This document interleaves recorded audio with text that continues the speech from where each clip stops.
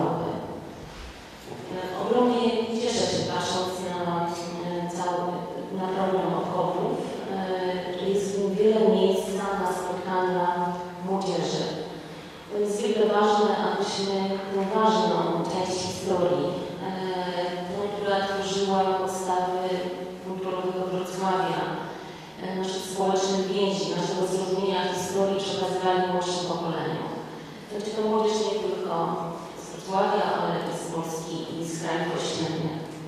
Bardzo dziękuję e, wszystkim osobom zaangażowanym e, w ten projekt. E,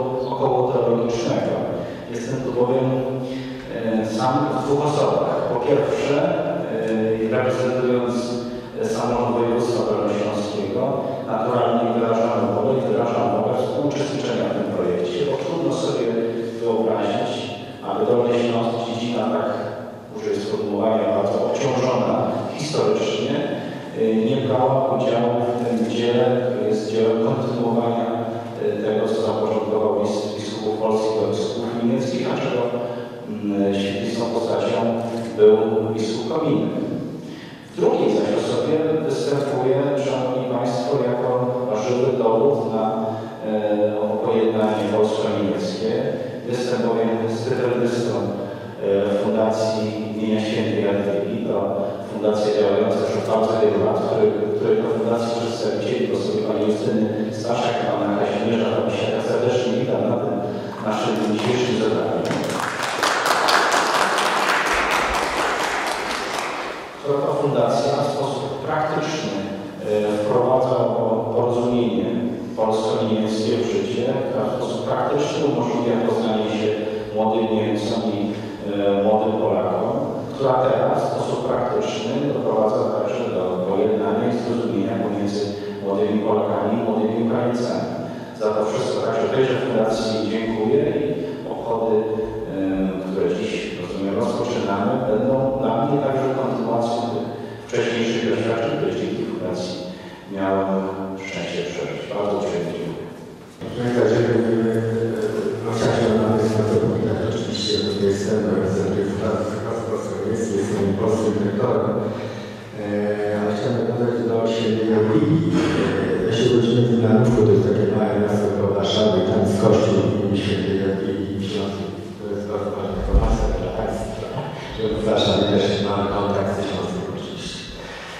さん、ち、えっと、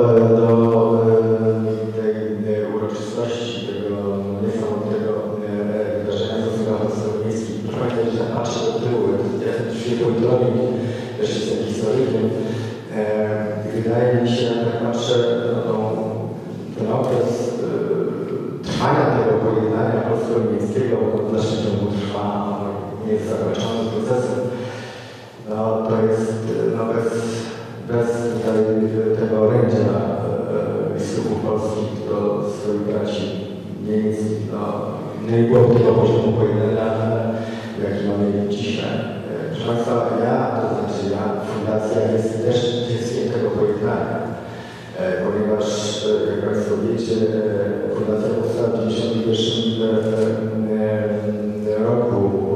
Gdyby tego pojednania nie było, nie było tych etapów pojednania,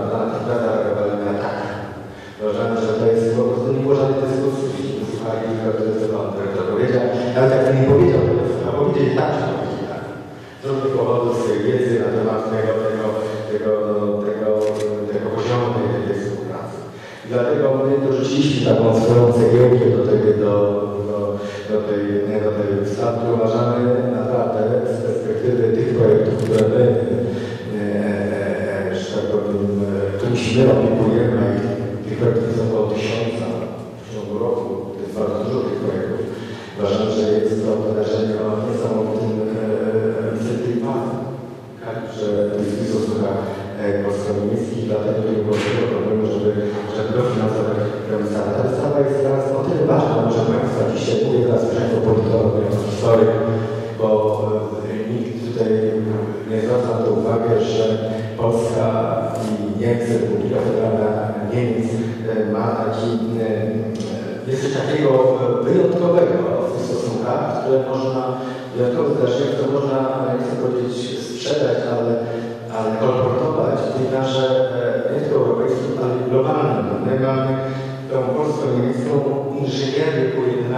To jest tak bardzo ważne, dlaczego mówię, e, że dzisiaj tak ważne.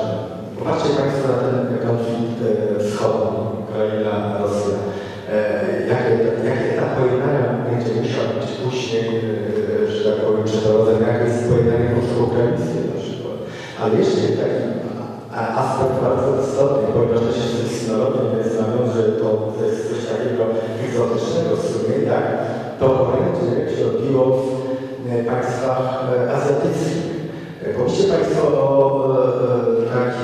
pojednanie, procesie pojednania, to się dopiero zaczął między Chinami, Koreą z jednej strony, a Japonią.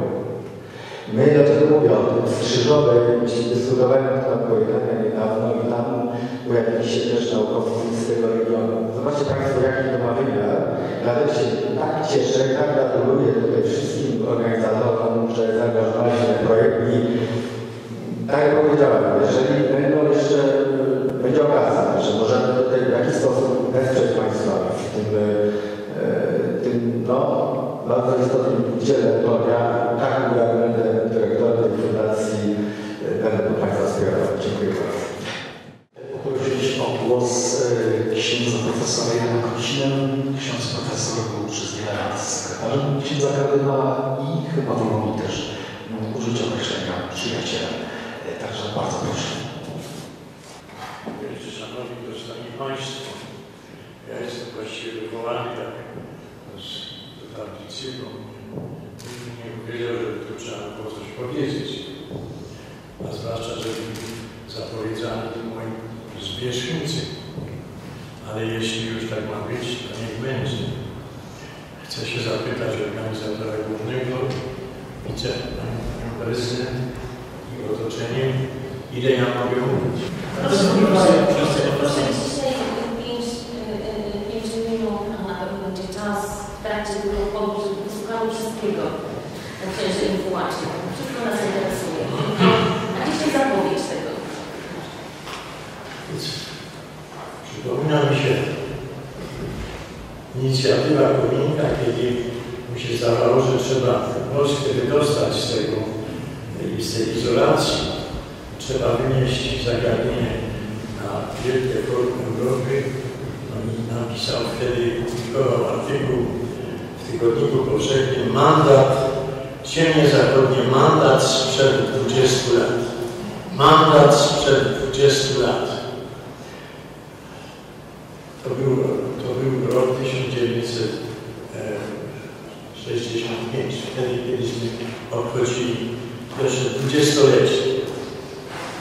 Niemcy, kiedy przeczytali ten artykuł, to zinterpretowali to słowo mandat jako, jako jakieś posłanie nadzwyczajne przez Boga i odpowiedzieli jeden artykuł, było powiedziane von Gott gesandten Polen, przez Pana Boga posłani Polacy, a e, wtedy, kiedy Kominek zaczął w tym artykule uzasadniać e, przynależność ziem zachodnich do Polski, to wtedy ukazał się drugi artykuł Gott als Räuberhauptmann in Polen in, in, West, był jak szef e, bandytów, rabusiów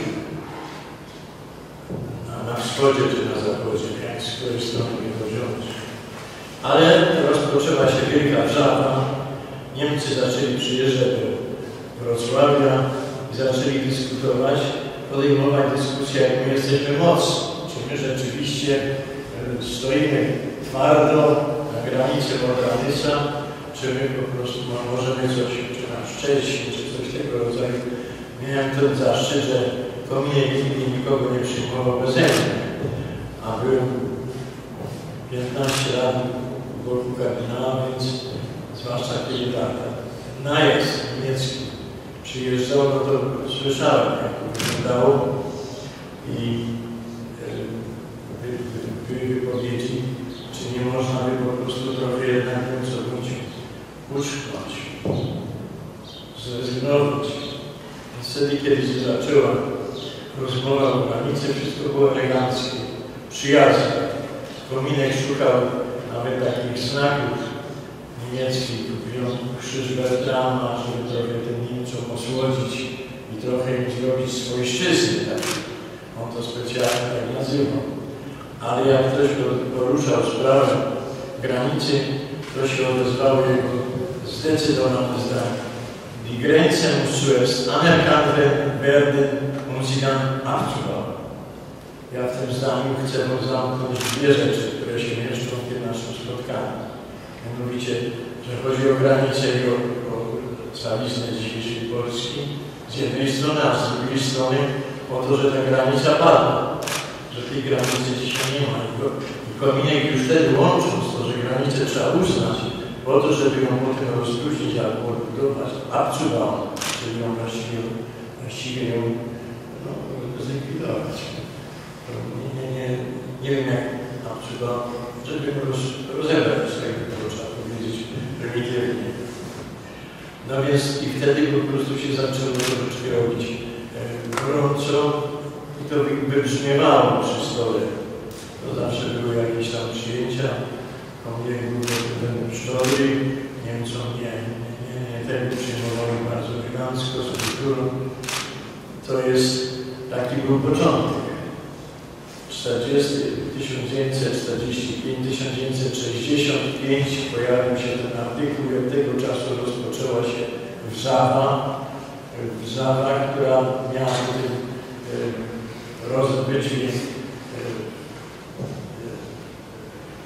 orędziu i równocześnie w tym wszystkim, co się potem rozwijało między Niemcami i Polską i w pewnym sensie przez Niemcy ku Europie. Przecież nigdy Kominian nie myślał, że chodzi o jakieś kondominium między Polską i Niemcami, ale chodziło o to, żeby przejść do Watykanu, żeby przejść do Anglii, do Ameryki, do wielkich mocarstw przede wszystkim, żeby to uznały, ale i Paweł VI papież powiadał Polskowi, że dopóki nie będzie, dopóki nie będzie e, ratyfikacji, dopóki nie będzie potwierdzenia granicy, to ja nie, nie przeprowadzę też i e, tych organów, tych, tych e, porządku, porządku kościelnego wewnątrz Polski.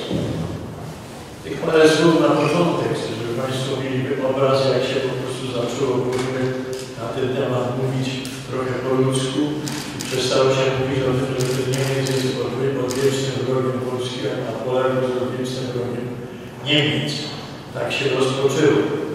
E, skoro po prostu granicę, powiedziałem zdanie o granicy, chcę jeszcze powiedzieć jedną granicę, jedno słowo o, o Europie. E, wysłany, jako wysłannik Pawła VI do biskupów jugosłowiańskich miał zbadać, jak wygląda pierwsza umowa między stolicą apostolską i Jugosławią. To był rok 60, 62. Towarzyszyłem Polikowi, wracaliśmy i przez granicę austriacko-jugosłowiańską powiedziałem tylko, że jedzie arcybiskup wrocławski. Przekazywałem paszporty, oni te paszporty odrzucili, mówi nie, to tylko można podnieść szlaba i życzyć przyjemnej raty, bo Austriacy powiedzieli, że pięknie, pięknie e, przekazują powitanie. Wtedy kominek zatrzymał samochód, podszedł do nich i powiada, chcę Was pozdrowić pierwszych Europejczyków. Jeśli byście, jesteście pierwsi, który, dla nie, nie jest ważny paszport, gdzie można przejechać, to Wy zapowiadacie nowy czas. Przyjdzie taki czas, kiedy ta granica upadnie. Tylko muszę Wam niestety powiedzieć, że Wy stracicie pracę. Ale ta granica padnie, jestem o tym przekonany. Będzie granica, granice będą umorzone, Polska będzie miała swoje granice, ale równocześnie będzie tak samo też i Europa bez granic. Te dwie rzeczy bym jako po prostu z autopsji powiedzieć tak, że, że, że je dotykały. Widziałem, kiedy on powiedział, Was pozdrawiam pierwszych Europejczyków i kiedy powiedział, granica musi być uznana po to, żeby ją w tym rozkręcić i po prostu rozbudować. Myślę, jeśli wierzyć Pani Prezydent, że ja mam, mogę mówić tylko 5 minut, to chcę powiedzieć, że nie spotkałem człowieka tak zaangażowanego. Wszyscy są zaangażowani, ci, którzy przyszli, których widziałem przedtem i potem, ale tak ogromnie zaangażowanego e, polski Wrocław i polskie ziemie zachodnie, jak, jak e, tego człowieka, arcybiskupa kardynała Komunka. Ile to było sporów z bliskimi ludźmi, z katolikami, z biskupami niemieckimi, z kardynałem Defnerem. Defnerowi musiał powiedzieć, słuchaj, zabezpieczysz ratyfikację wtedy, kiedy pójdziesz, ale nawet się nie zabezpieczy uznania tego. No to jak nie chcesz, no to ja piszę list do Branda. Nie pisz. To są socjaliści, to są kadency. Napiszę, jeśli, jeśli nie powiesz, że to, że to będzie przeprowadzone, to piszę do Branda. Te listy, tych listów do były dwa, a e, wysłannicy Branda do, do kardynała Kulika od dwóch Wener i Lewe przyjeżdżali też dwa razy i posuwało się to naprzód. Dzień wtedy się troszeczkę złościł, ale wytrzymał to. Wytrzymał to mimo to, że, był, że, byli, sobie mówili przez ty, tam tuc, ale jednak musiał to przełknąć i te listy do Branda, do przewodniczącego kanclerza z SPD musiał przyjąć do wiadomości i tam się zaczęło to wszystko, to co potem się złożyło na ratyfikację, bo to jest bardzo ważne uzyskać Bundestagu ratyfikację dla granicy i bez socjalistów by się tej ratyfikacji nie dokonało. Więc chcę ten obrazek też tu przypomnieć, że takie dwa listy były, wysłannicy przyjechali też dwa razy, takie rozmowy też się prowadziły i potem zmienił się Gomułka i zmienił się też i rząd wtedy, ale to już było po liście, to już było trochę, nie mogę tego w tych pięciu minutach, chociaż jest trochę przekroczyłem. No, chcę Państwa zapewnić, że w swojej autopsji nie widziałem człowieka tak zaangażowanego i tak przekonanego o tym, że my tu jesteśmy wieczni. Jak kiedyś wręczał jakiemuś księdzu, no może kocham rozkochanemu w rubieżach wschodnich, kresach, nominację tu na placówkę wrocławską i nominował, gratulował, mówi, księżacy biskupie to tylko do wiosny. Kominek się zdenerwował i podaje do wiosna, to niech ksiądz mi to zwróci. Nic do wiosny nie będzie. Jak się chce zapewnić, że my tu jesteśmy na wieczne czasy. A jak ksiądz to nie wiem, gdzie to było, ksiądz pójdzie wiosną, ale wiosną się nic nie zmieni. Chcę Państwu powiedzieć, że chcę wyrazić w imieniu moich przezwierzchników i kardynała Kominka i arcybiskupa kardynała Dubinowicza i arcybiskupa Wodnego wielki wyraz podziękowania, szacunku, że instytucje wszystkie z ratuszem na czele z prezydentem, to jest instytucją dziedzictwo i przyszłość. To wszystko, wszyscy ci wielcy i mali, wszyscy są wielcy właściwie, którzy angażują ten cały rok komunikowy, to wszystko chcę mi wyrazić wielkie uznanie, podziękowanie, moje słowa są słabe, ale proszę wyobrazić, że one płyną z szkóry wrocławskiej, proszę to że cieszymy się tym wszystkim.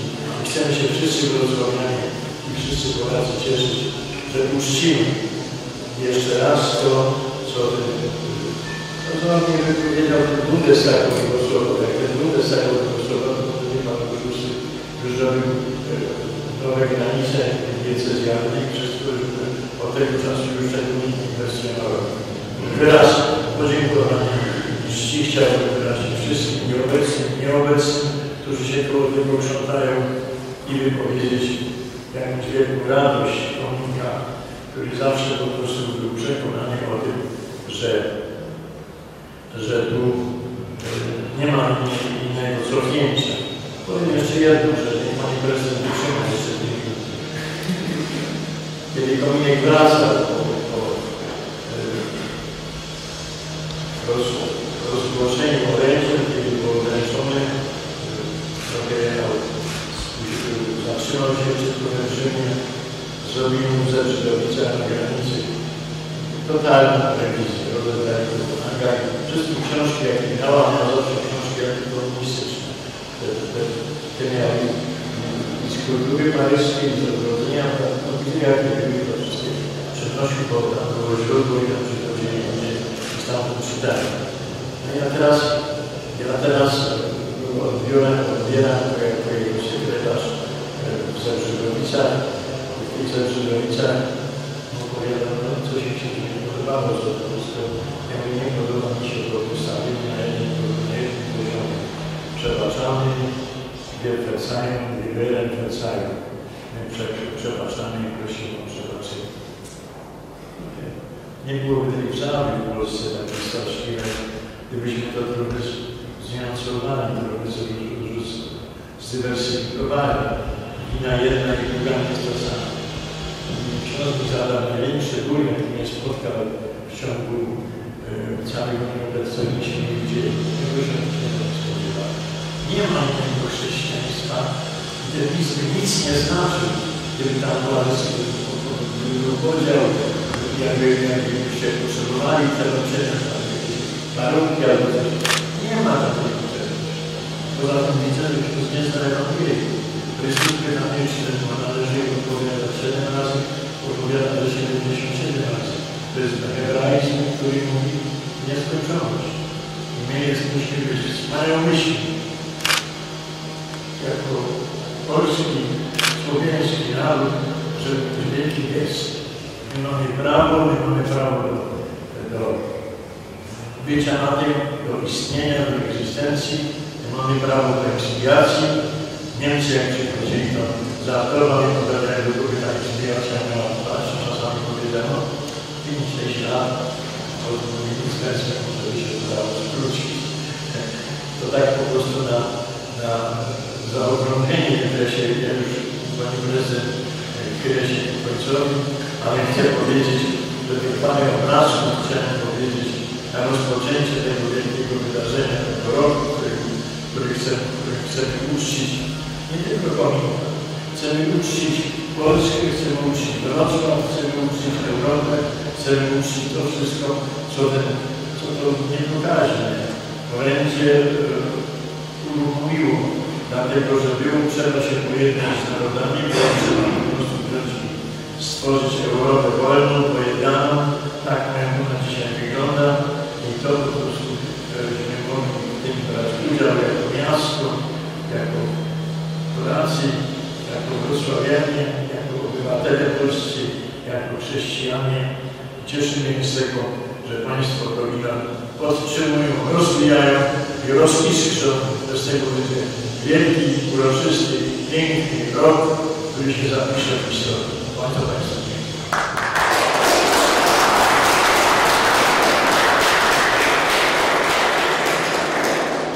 Bardzo dziękujemy księdzu profesorowi. Oczywiście to 5 minut. E, To był tylko chwyt mar- marketingowy, aby dać zapowiedź e, tego, co będzie się działo e, w tym roku i w przyszłym, proszę Państwa. Tego, ta opowieść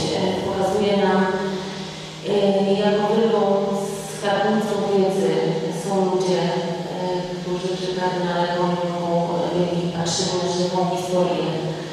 A to, że nauka przebaczenia, jaka popłynęła z ust y, i z przesłania kardynała, y, była wielką sprawą, świadczy o tym, że otworzyła przestrzeń naszemu miastu, krajowi na rozwój.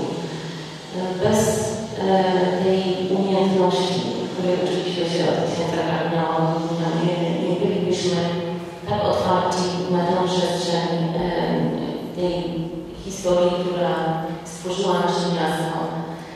Więc dziękujemy za to i dziękujemy za tę obecność dzisiaj z nami.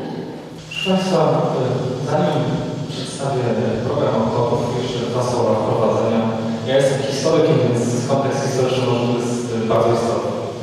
E, W 1945 roku Europa została podzielona. Chwilę później wręcz fizycznie powstaje e, żelazna kurtyna. Z terenów wschodnich Niemiec zostają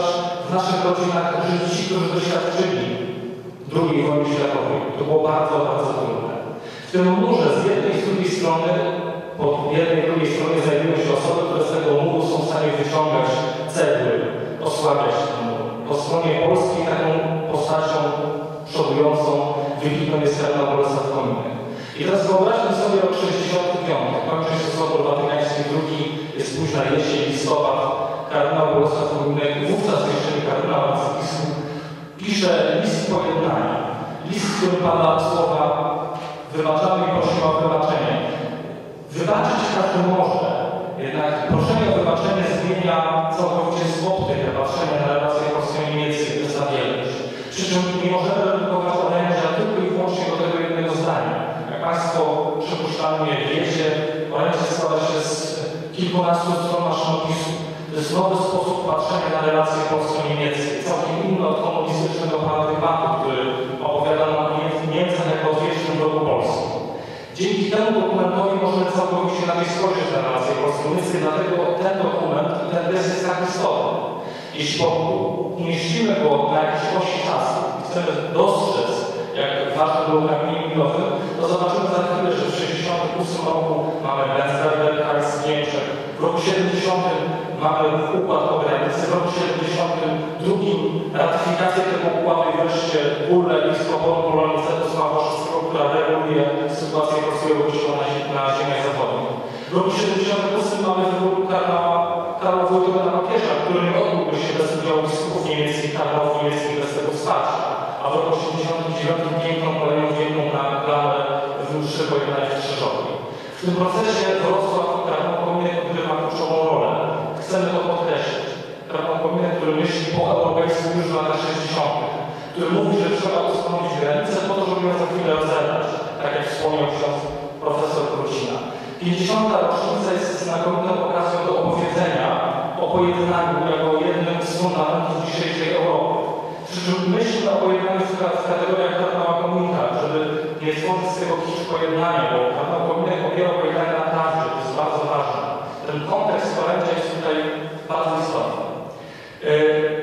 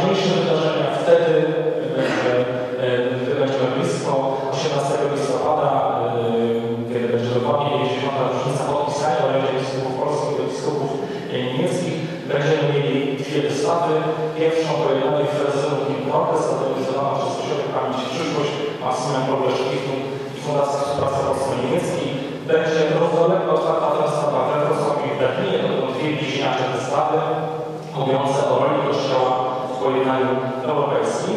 Jednocześnie e, e, będzie e, otwarta wystawa